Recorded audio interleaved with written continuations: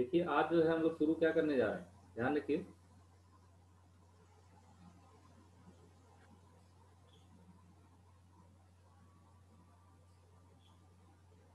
Basic concept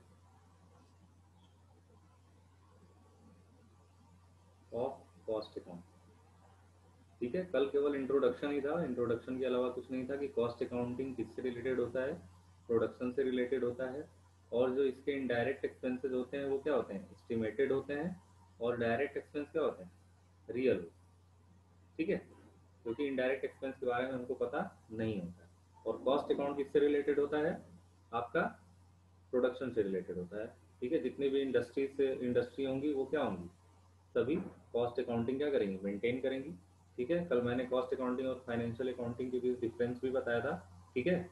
तो इतना ध्यान रखिए आज क्या पढ़ेंगे? Basic concept of cost accounting ठीक है? तो इसमें देखिए क्या क्या चीज़ पढ़ेंगे? देखिए, पहली चीज़ पढ़ेंगे क्या? Nature of cost nature of cost ये सब कैलकुलेशन है। ठीक है? कैसे कैसे कैलकुलेशन करेंगे? ठीक है? कॉस्ट अकाउंट का, उसमें क्या क्या चीज़ें आएँगी, वही चीज़ ध्यान रखना पहली चीज़ क्या करेंगे? नेचर ऑफ़ कॉस्ट दूसरा यूजेज ऑफ़ कॉस्ट दूसरा क्या है? यूजेज ऑफ़ कॉस्ट ओके तीसरी चीज़ ध्यान रखेंगे। स्टेटमेंट ऑफ़ कॉस्ट यही मेन है स्टेटमेंट ऑफ़ कॉस्ट मैं भी सबके बारे में एक्सप्लेन करूँगा, ध्यान आप परेशान मत होइएगा, ठीक है? मैं सबके बारे में एक्सप्लेन करूँगा एक एक करके। अभी केवल नाम जान लीजिए कि मतलब क्या क्या चीज़ें होती हैं, ठीक है? स्टेटमेंट ऑफ़ कॉस्ट या कॉस्ट शीट जो भी आप बनाते हैं, ठीक है? चौथी चीज़ ध्यान रखिएगा calculation of profit calculation of profit okay पांचवी चीज़ ध्यान रखिएगा allocation of joint expense allocation of joint expenses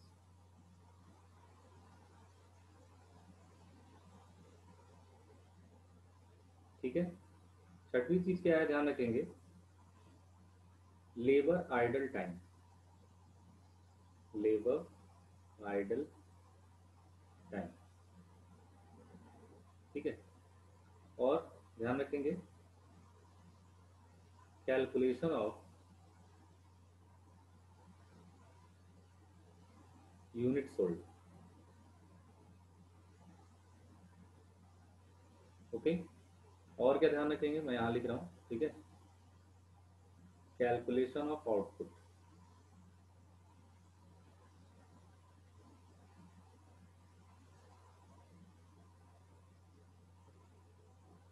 ठीक है? और ध्यान रखेंगे फाइनेंशियल आइटम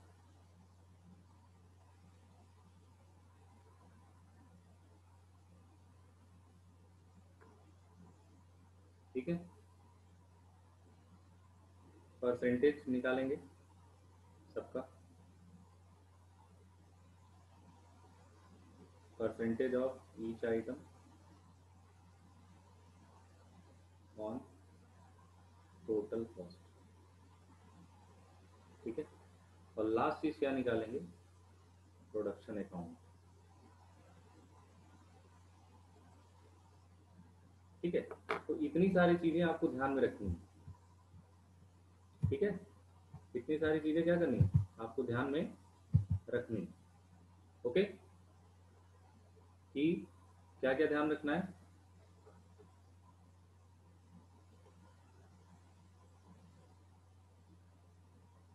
क्या क्या आपको ध्यान रखना है? पहला नेचर ऑफ़ कॉस्ट दूसरा यूजेज ऑफ़ कॉस्ट तीसरा स्टेटमेंट ऑफ़ कॉस्ट चौथा कैलकुलेशन ऑफ़ प्रॉफिट पांचवा क्या है? लोकेशन ऑफ़ ज्वाइंट एक्सपेंसेस ठीक है? और क्या ध्यान रखना है? Labour idle time and calculation of unit sold ये सब मैं अभी बताऊँगा, आपको एक्सप्लेन करूँगा, लेकिन ये बेसिक कॉन्सेप्ट है, इसको क्या करिएगा? ध्यान में रखिएगा, ठीक है? और क्या चीज़ है? Calculation of output financial item ठीक है? Percentage of each item on total cost और लास्ट में आता है प्रोडक्शन का ठीक है? ये जो बेसिक कॉन्सेप्ट है, इसको और भी क्या बोलते हैं? गोल्डन रूल भी बोलते हैं किसका? कॉस्ट अकाउंटिंग का, ठीक है? कि अगर ये सब चीज़ें आप जान जाएँगे तो जितने भी आपके चैप्टर्स हैं कॉस्ट अकाउंटिंग के, सभी क्या हो जाएँगे? क्लियर हो जाएँगे। हर जगह मिलेगा आपको। हर, जितने भी आपके क्या बोलते हैं उसको? टॉपिक होंगे आपके कॉस्ट अकाउंटिंग में, सब में कोई ना कोई एक कैलकुलेशन करने के लिए आपको क्या मिलेगा? ज़रूर मिलेगा। तो इसको आप लोग ध्यान से क्या करिएगा? पढ़िए ठीक है? तो अब धीरे धीरे अब एक एक करके सब कुछ जानते हैं। ठीक है? तो पहला क्या है? पहले के बारे में जानेंगे क्या? रूल नंबर वन पहला क्या है? Nature of cost nature of cost ठीक है? अब ध्यान रखिएगा नेचर ऑफ़ कॉस्ट जो है, कितने टाइप के कॉस्ट होते हैं या किस नेचर के कॉस्ट होते हैं, ये आपको ध्यान में रखना है। ठीक है? तो ध्यान रखिएगा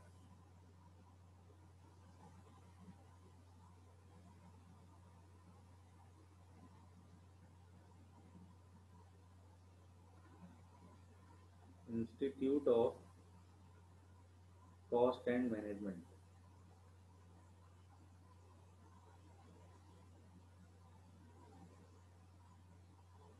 इन्होंने क्या किया है? कॉस्ट को डिफाइन किया है। इन्होंने कॉस्ट को इंट्रोड्यूस किया है और ये कहाँ पे है? लंदन में। तो नोट डाउन करते चले जाइएगा, ठीक है? ओके इन्होंने क्या किया है? कॉस्ट को डिफाइन किया है। इन्होंने कॉस्ट को इंट्रोड्यूस किया है और ये इंस्टीट्यूट कहाँ है? London okay? कितना ध्यान रखिए। इनके अनुसार जो है, ठीक है टाइप्स ऑफ़ कॉस्ट क्या है? टाइप्स ऑफ़ कॉस्ट कितने टाइप के कॉस्ट क्या होते हैं? होते हैं, ठीक है? अब ध्यान रखिएगा कौन कौन से कॉस्ट होते हैं, ठीक है? पहला पहला आपका होता है क्या? Primary cost prime cost sorry primary prime cost इसको क्या बोलते हैं और डायरेक्ट कॉस्ट भी क्या होता है? बोल। ठीक है? ये सब मैं बताऊँगा, आप परेशान मत होइएगा। ठीक है? दूसरी चीज़ ध्यान रखिएगा, दूसरा जो कॉस्ट होता है, ठीक है, वो क्या होता है? आपका फैक्ट्री कॉस्ट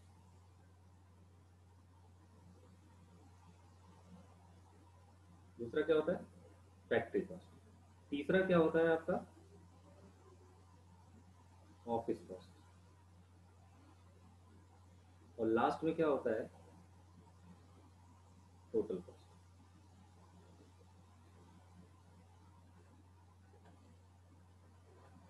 ये चार तरीके के कॉस्ट क्या होते हैं? आपके होते हैं। एक चीज़ और भी होता है सेलिंग एंड डिस्ट्रीब्यूशन भी कॉस्ट होता है तो उसको अभी ध्यान नहीं देंगे, ठीक है? वो तो बाद में आता है। तो इतना ध्यान रखिएगा कि time cost factory cost office cost और टोटल कॉस्ट फैक्ट्री कॉस्ट को और क्या बोलते हैं? वर्क कॉस्ट भी बोलते हैं। इसका अलग नाम भी होता है। ऑफ़िस कॉस्ट को और क्या बोलते हैं? कॉस्ट ऑफ़ प्रोडक्शन और टोटल कॉस्ट को फाइनल कॉस्ट भी बोलते हैं। ठीक है? तो नेचर ऑफ़ कॉस्ट में तो नेचर ऑफ़ कॉस्ट में आ, मैंने बताया क्या? कि institute of cost and management account London में जो है ठीक है इन्होंने कॉस्ट को इंट्रोड्यूस किया था। इन्होंने कॉस्ट को क्या किया? चार भागों में डिवाइड कर दिया। इसमें पहला क्या है? प्राइम कॉस्ट दूसरा क्या है? फैक्ट्री कॉस्ट तीसरा क्या है? ऑफ़िस कॉस्ट और चौथा क्या है? टोटल कॉस्ट या फाइनल कॉस्ट ठीक है? इसमें कोई दिक्कत है किसी को?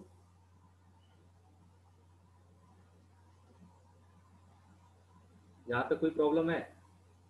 या कोई doubt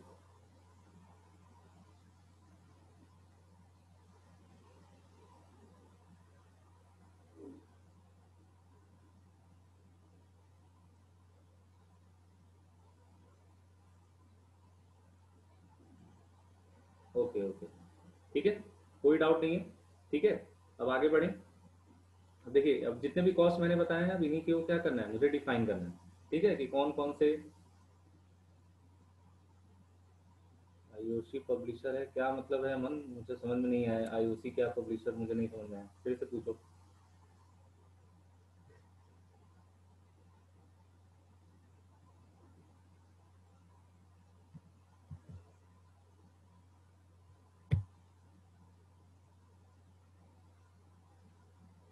Institute of cost and management account okay London इसका जो मेन ऑफ़िस है वो लंदन में ओके okay?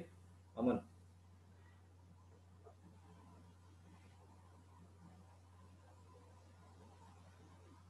अब आगे देखिए। मैंने नाम तो बताया अभी institute of cost and management account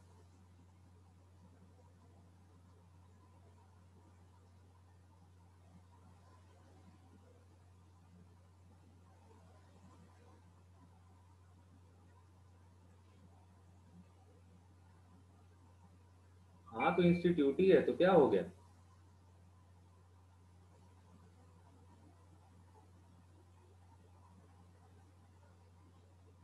इसमें कोई पार्टिकुलर नेम नहीं है कि इसको किसने शुरुआत किया था या किसने स्टार्टिंग किया था, ठीक है? ये रिसर्च की बात होती है रिसर्च में क्या होता है? कॉस्ट अकाउंटिंग आपके आईसीएमए वाले किए थे और उन्होंने क्या कर दिया था? इंट्रोड्यूस कर दिया था कॉस्ट अकाउंटिंग को, ठीक है? तो इसमें कोई नाम नहीं है, कोई पार्टिकुलर नेम नहीं है किसी का ओके ठीक है, आगे देखिए। पहला मैंने पढ़ाया क्या? Prime cost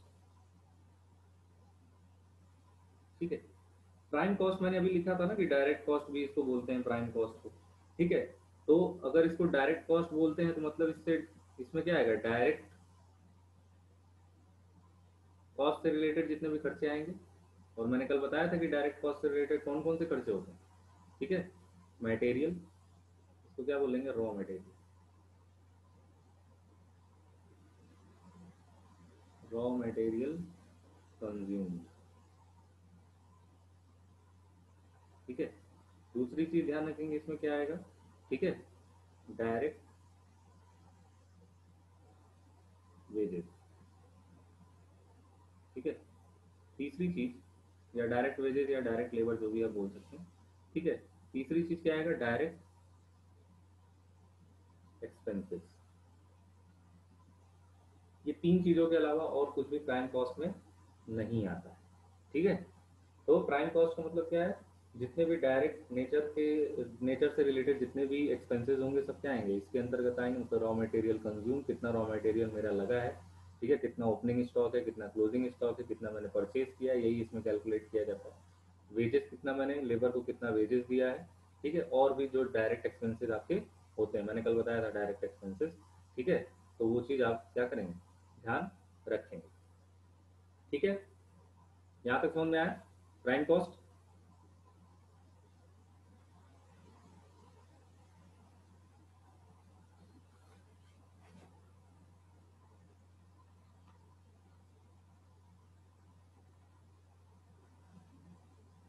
okay. ठीक है? और दूसरा देखिए।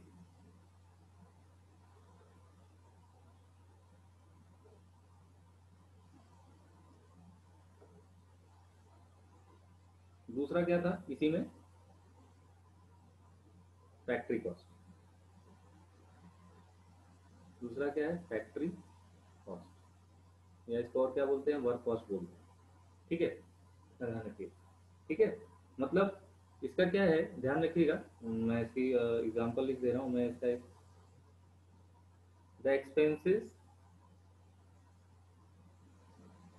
which are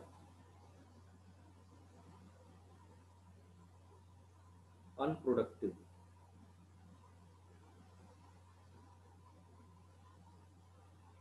Unproductive in nature. Are generally transferred to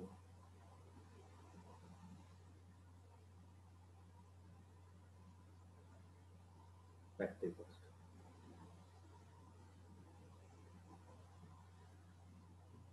या इसको और क्या बोलते हैं? वर्क ठीक है? अनप्रोडक्टिव मतलब फैक्ट्री का कॉस्ट का मतलब क्या होता है? फैक्ट्री में वो क्या हो रहा है? गुड्स बन रहा है। ठीक है?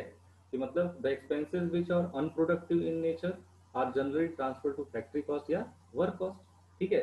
कि मतलब आप ये ध्यान रखिएगा, ठीक है? कि मतलब अभी गुड्स क्या हो रहा है? अभी प्रिपेयर हो रहा है फैक्ट्री में तो गुड्स प्रिपेयर ही होता है। बना बनाया माल, बना बनाया गुड्स तो उसमें होता नहीं।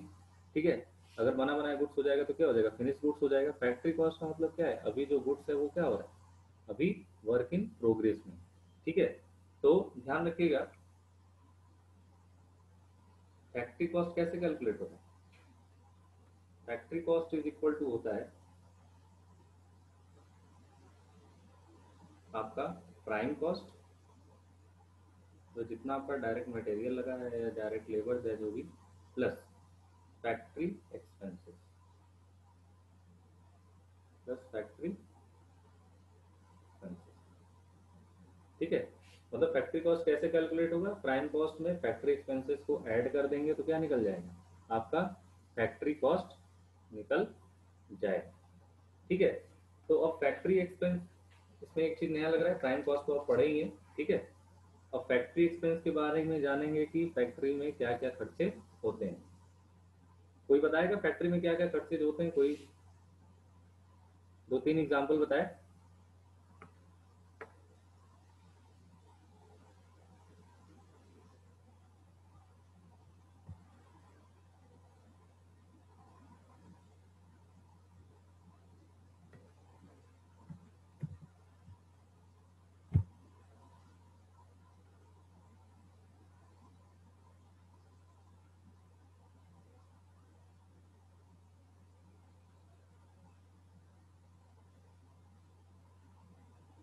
खर्चे का नाम पूछा है, तुम मशीनरी हमेशा क्यों बताते रहते मैंने एक्सपेंसेस पूछा है ना कि एक्सपेंसेस क्या होंगे? ठीक है? मशीनरी एक्सपेंसेस थोड़ी है।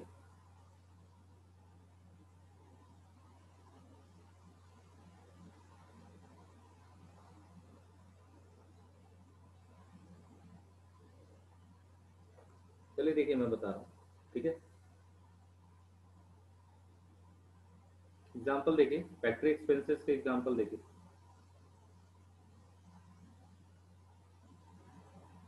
बहुत होते हैं फैक्ट्री के एक्सपेंसेस ठीक है? ठीक है? जितने भी फैक्ट्री रेंट होंगे, भाई फैक्ट्री अगर मान लीजिए रेंटल पे है तो क्या होगा? रेंट देना पड़ेगा तो वो भी किससे रिलेटेड है? फैक्ट्री से ही रिलेटेड है, ठीक है? देखिए, जितने भी मैं फैक्ट्री लिख रहा हूँ मतलब फैक्ट्री से रिलेटेड है, ठीक है? फैक्ट्री में मैं डैश दे रहा हूँ फैक्ट्री रेंट फैक्ट्री की फैक्ट्री में जो भी सैलरी लगती है, जितने भी उसमें वर्कर काम करते हैं, चाहे क्लर्क काम करते हैं, जो भी है, ठीक है? देखिए, ध्यान रखिए, केवल मशीनरी नहीं होगा डेप्रिशिएशन जो चार्ज होगा उस पर ठीक है? वो किससे रिलेटेड होगा? आपका फैक्ट्री एक्सपेंस से रिलेटेड होगा, ठीक है? वो हो गया इलेक्ट्रिसिटी का खर्चा ठीक है? भाई इलेक्ट्रिसिटी तो लगेगी पावर लगेगी। ठीक है? अगर कोई फैक्ट्री का इंश्योरेंस कराया मैंने अगर फैक्ट्री जल गई तो इंश्योरेंस कंपनी आपको क्या देगी? पैसा देगी? ठीक है? कोई रिपेयर एंड मेंटेनेंस का खर्चा है फैक्ट्री का। ठीक है? रिपेयर एंड मेंटेनेंस जो भी आपको। ठीक है? मतलब फैक्ट्री से रिलेटेड रेंट फैक्ट्री से रिलेटेड सैलरी ठीक है depreciation on machinery electricity power जो भी आपका लगता है गैस पावर जो भी आपका लगाते हैं, ठीक है इंश्योरेंस हो गया रिपेयर एंड मेंटेनेंस और भी होते हैं, मैं और भी लिखवा दे रहा हूँ, ठीक है, ये ना होगी आपने सर मैंने लिखवाया नहीं, ठीक है, और भी देखिए, ध्यान रखिए, ठीक है सुपरविजन सैलरी ठीक है सुपरवाइजर होता है ना सुपरवाइजर ठीक है, जो लेबरों का क्या करता है, देखभाल करता है, ठीक है, कि लेबर अच्छे से काम कर रहे हैं या नहीं कर रहे हैं, ठीक है वो चीज़। सुपरविजन सैलरी हो गया, ठीक है? फॉरमैन सैलरी हो गया, ठीक है? ग्राउंड लेवल पे जो काम करते हैं, ठीक है? जो छोटे मोटे काम करते हैं, ठीक है? ओके इनडायरेक्ट मटेरियल डायरेक्ट नहीं डायरेक्ट हो जाएगा तो क्या हो जाएगा? आपका प्राइम कॉस्ट हो जाएगा, ठीक है? इनडायरेक्ट मटेरियल ओके इतना ध्यान रखिएगा। मैन्युफैक्चरिंग से रिलेटेड जितने भी एक्सपेंस हो अगर कहीं मैन्युफैक्चरिंग एक्सपेंस भी लिखेगा तो वो भी क्या, कहाँ जाएगा? फैक्ट्री एक्सपेंस में जाएगा। ठीक है? इतना ध्यान रखिएगा। क्योंकि मैन्युफैक्चरिंग का मतलब ही क्या है? प्रोडक्शन ठीक है? तो प्रोडक्शन से रिलेटेड होगा तो मतलब फैक्ट्री ठीक है? कॉलेज हो गया। ठीक है? और चीज़ ध्यान रखिए। ठीक है? वही पावर हो गया। पावर अगर आ गया तो भी हो जाएगा। ठीक है? आपका। ध्यान रखिएगा। ये सब चीज़, बस। ठीक है? तो फैक्ट्री में इतनी चीज़ें ध्यान रखिएगा। फैक्ट्री से रिलेटेड रेंट फैक्ट्री से रिलेटेड सैलरी फैक्ट्री से रिलेटेड डेप्रिसिएशन इलेक्ट्रिसिटी का खर्चा हो गया, चाहे इंश्योरेंस कराया फैक्ट्री का तो वो भी रिपेयर एंड मेंटेनेंस अगर फैक्ट्री का कराया तो वो भी क्या होगा? फैक्ट्री एक्सपेंसेस के अंतर्गत आएगा। सुपरविजन को अगर सैलरी दे रहे हैं तो वो भी फॉरमैन को सैलरी दे रहे हैं तो वो भी इनडायरेक्ट मटेरियल होगा तो वो भी आएगा। ठीक है? मैन्युफैक्चरिंग एक्सपेंस होगा तो भी क्या होगा? वो फैक्ट्री का एक्सपेंस होगा हॉलेज हो गया या पावर हो गया तो जितने भी एक्सपेंसेस आपके फैक्ट्री से रिलेटेड होंगे, सभी किसमें आएँगे? फैक्ट्री एक्सपेंस में आएँगे। ठीक है तो ये अभी इसको अगर हम लोग कैलकुलेट कर देंगे तो क्या कैलकुलेशन हो जाएगा? फैक्ट्री कॉस्ट और फैक्ट्री एक्सपेंस में प्राइम कॉस्ट को ऐड कर देंगे तो क्या कैलकुलेट हो जाएगा? आपका फैक्ट्री कॉस्ट कैलकुलेट होगा। ठीक है? यहाँ तक कोई किसी को प्रॉब्लम है?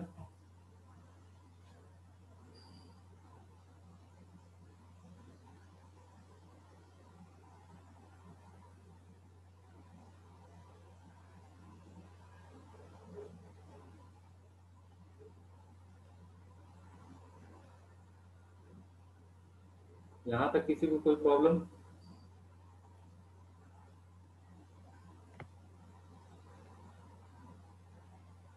नो प्रॉब्लम ओके ठीक है।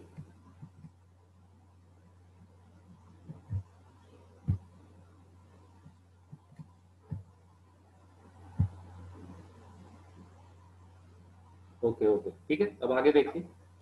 आगे मैं बता रहा हूँ। ठीक है? तीसरी चीज़ ध्यान रखिए। तीसरी चीज़ क्या मैंने लिखवाया था office cost office cost office cost क्या होती है? ठीक है? मतलब जो भी, देखिए, इसको मैं लिखवा दे रहा हूँ। The expenses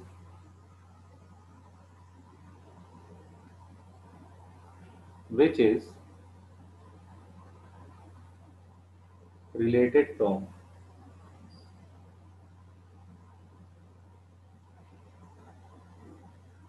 the control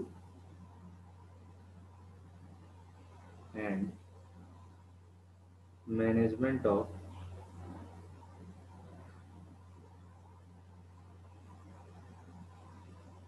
of the business. Is called as office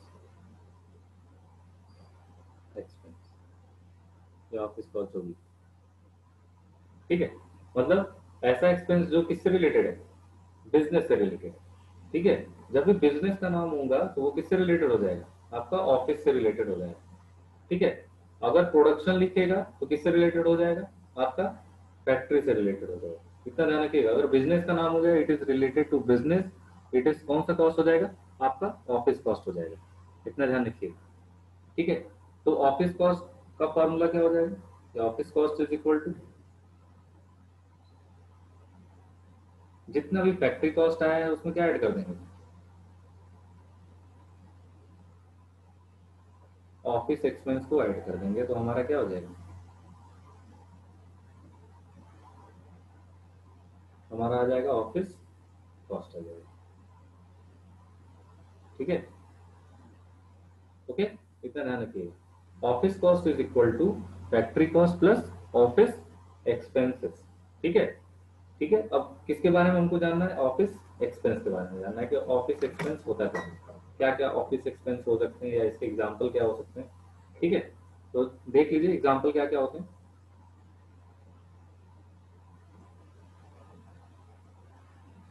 ठीक है?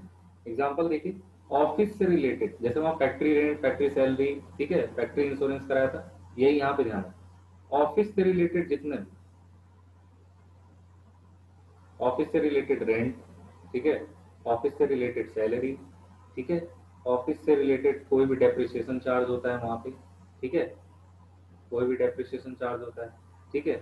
अगर इंश्योरेंस कराया है ओके इलेक्ट्रिसिटी का खर्चा दे रहे हैं वहाँ पे। इलेक्ट्रिसिटी बिल दे रहे हैं जो भी है, ठीक है? उसी को इलेक्ट्रिसिटी खर्चा देते हैं। कोई रिपेयर करा रहे हैं ठीक है, वही सेम बस वहाँ मैंने क्या बदल दिया फैक्ट्री की जगह ऑफ़िस लिख दिया। ठीक है कि ऑफ़िस से रिलेटेड रेंट ऑफ़िस से रिलेटेड सैलरी ऑफ़िस से रिलेटेड डेप्रिसिएशन ऑफ़िस से रिलेटेड इंश्योरेंस ऑफ़िस से रिलेटेड इलेक्ट्रिसिटी बिल या कुछ भी, या ऑफ़िस के रिलेटेड क्या हो जाएगा? रिपेयर या मेंटेनेंस का खर्चा, जो भी आपका, आप देते हैं। इसके अलावा क्या देते हैं? इसके अलावा क्या क्या देते हैं? एमडी का नाम सुना है? एमडी एमडी को क्या देते हैं? सैलरी देते हैं। मैनेजिंग डायरेक्टर जो होता है। ठीक है? डायरेक्टर फ़ीस डायरेक्टर फ़ीस ठीक है? ऑडिटर फ़ीस हाँ ओके ऑडिटर फ़ीस ठीक है? बैंक से रिलेटेड जितने भी खर्चे होते हैं बैंक फ़ीस ठीक है? कहीं जनरल एक्सपेंस का नाम आ जाएगा तो वो भी हो जाएगा। ठीक है? आपका स्टेब्लिशमेंट का खर्चा। स्टेब्लिशमेंट एक्सपेंस ठीक है? स्टेशनरी का खर्चा। टेलीफोन का खर्चा। टेलीफोन एक्सपेंस ओके या मैनेजमेंट का खर्चा, कुछ भी। बहुत खर्चे होते हैं, ठीक है? तो अभी इतना ही ध्यान रखिए, ठीक है? मतलब एमडी को सैलरी देना हो, ठीक है? डायरेक्टर फ़ीस देना हो ऑडिटर फ़ीस देना हो बैंक की फ़ीस देना हो जनरल एक्सपेंस कोई हो, ठीक है? स्टेब्लिशमेंट एक्सपेंस हो स्टेशनरी का खर्चा हो, ठीक है? टेलीफोन एक्सपेंस का खर्चा हो, या मैनेजमेंट से रिलेटेड कोई भी खर्चा होगा तो वो किसमें आएगा? ऑफ़िस एक्सपेंस में आएगा, ठीक है? तो office cost is equal to क्या होता है? Factory cost plus office expenses ठीक है? और ऑफ़िस एक्सपेंसेस के एग्ज़ाम्पल ये ठीक है? यहाँ तक कोई किसी को डाउट है? ऑफ़िस कॉस्ट समझ में आया?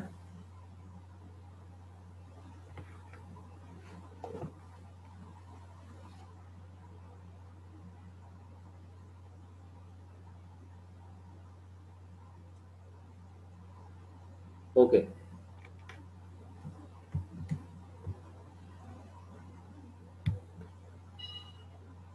आगे देखिए।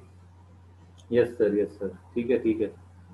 कल मैं पूछूँगा, तब मैं बताऊँगा आप लोग को yes sir yes sir okay ठीक है? चौथी चीज़ क्या है? लास्ट चीज़ आपने देखा था, उसमें कॉस्ट में टोटल कॉस्ट टोटल कॉस्ट को क्या बोलते हैं? सेलिंग एंड डिस्ट्रीब्यूशन कॉस्ट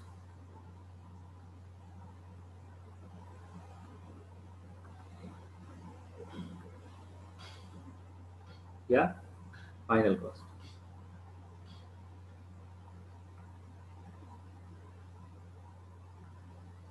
ठीक है? अब इतना ध्यान रखिए टोटल कॉस्ट कैसे कैलकुलेट होता है? जितना भी आपका ऑफ़िस कॉस्ट आएगा। क्योंकि तो तीन चीज़ें तो आपने निकाल ली टाइम कॉस्ट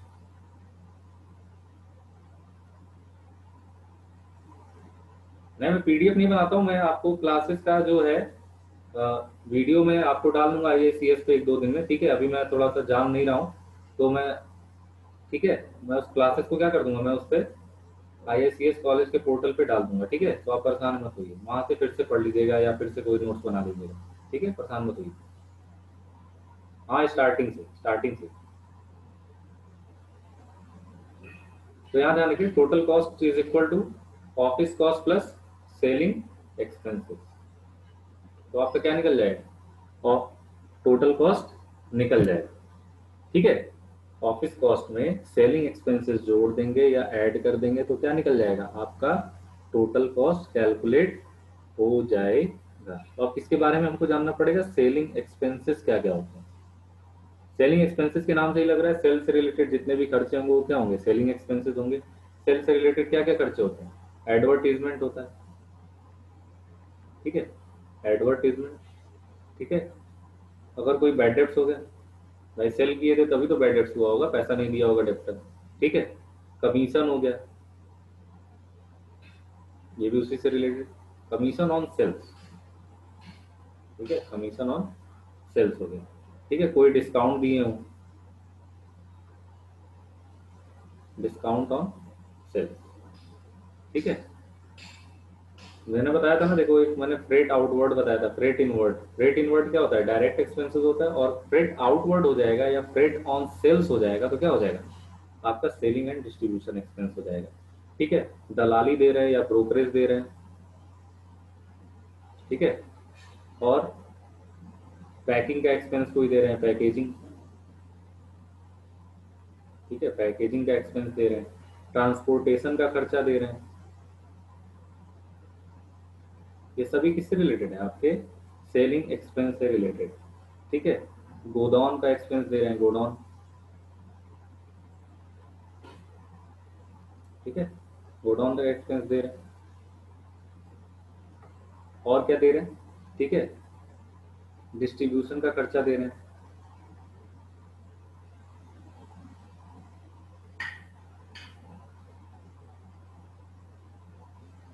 और क्या दे रहे हैं? एक आता है कैरेज आउटवर्ड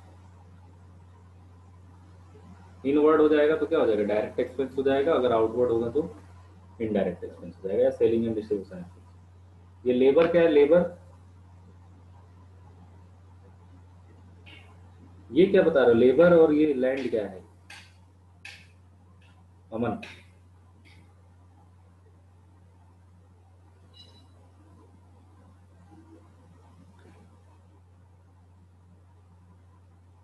ठीक है देखिए ध्यान कि सेलिंग के एक्सपेंसेस जितने भी हैं ठीक है यही है एडवर्टीजमेंट हो गया चाहे बैड हो गया बहुत एक्सपेंसेस होते हैं सेलिंग से रिलेटेड एक्सपेंसेस ठीक है तो उसमें आपको कुछ ही चीज़ें ध्यान रखना है जो चीज़ें इसमें आएँगे एडवर्टीजमेंट हो गया चाहे बैड हो गया कमीशन ऑन सेल्स हो गया ओके डिस्काउंट ऑन सेल्स हो गया रेट ऑन सेल्स हो गया मतलब सेल्स से रिलेटेड जितने ब्रोकरेज हो गया पैकेजिंग एक्सपेंस हो गया ट्रांसपोर्टेशन एक्सपेंस हो गया गोडाउन से रिलेटेड एक्सपेंस हो गया डिस्ट्रीब्यूशन का कोई खर्चा है वो हो गया चाहे कैरेज आउटवर्ड हो गया ये सभी किससे रिलेटेड है सेलिंग एक्सपेंस से रिलेटेड इन चारों को ही मिला के हम लोग क्या बनाते हैं? टोटल कॉस्ट बनाते हैं।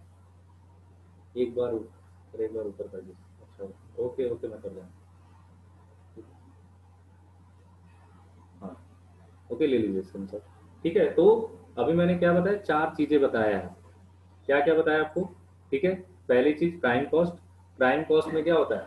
आपको डायरेक्ट से रिलेटेड जितने भी खर्चे होते हैं डायरेक्ट नेचर से रिलेटेड जितने भी खर्चे होते हैं, जैसे रॉ मटेरियल कंज्यूम हो गया डायरेक्ट वेजेस हो गया, ठीक है? और जितने भी डायरेक्ट एक्सपेंसेस आपके होते हैं, ठीक है? आप अगर कहेंगे तो मैं कल डायरेक्ट एक्सपेंसेस भी का नाम लिखवा दूँगा, ठीक है? ओके ध्यान रखिएगा। और दूसरा क्या था? फैक्ट्री कॉस्ट था। फैक्ट्री से रिलेटेड जितने भी खर्चे होंगे प्रोडक्शन से रिलेटेड जितने भी खर्चे होंगे, वो क्या होंगे? आपके फैक्ट्री एक्सपेंसेस होंगे, जैसे factory rent factory salary factory का डेप्रिसिएशन फैक्ट्री का इंश्योरेंस जितने भी होंगे सुपरविजन सैलरी एक्सेट्रा एक्सेट्रा जितने भी सैलरी होंगे, मैंने लिखवाया उस चीज़ को, ठीक है? तीसरी चीज़ मैंने क्या बताया? ऑफ़िस कॉस्ट मतलब office cost is equal to क्या होता है? Factory cost plus factory cost plus आपका फैक्ट्री एक्सपेंसेस ठीक ऑफ़िस एक्सपेंसेस ऑफ़िस से रिलेटेड जितने भी खर्चे होंगे। और लास्ट में क्या है? टोटल कॉस्ट टोटल कॉस्ट में ऑफ़िस कॉस्ट में क्या जोड़ देंगे? सेलिंग एक्सपेंसेस जोड़ देंगे तो आपका क्या हो जाएगा? टोटल कॉस्ट निकल आएगा। तो यही चार चीज़ें आज मैंने बताएँगे ठीक है, इसमें कोई डाउट है किसी को तो पूछ ले। नहीं तो सेशन एंड करूँगा